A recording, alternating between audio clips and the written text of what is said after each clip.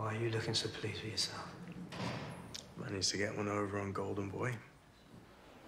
You were with Kheerat today. And the rest of your litter.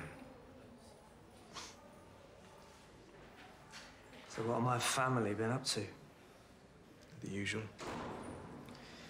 Feeling sorry for themselves, holding grudges, being stubborn. Oh, and Kheerat had a lot of fun reminding me who's top boy. I think if he knew who I really was, he wouldn't be so sure of himself. Isn't that right? Hmm? Dad?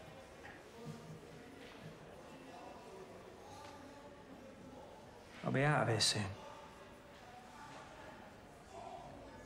I'll make sure Kheerat knows his place.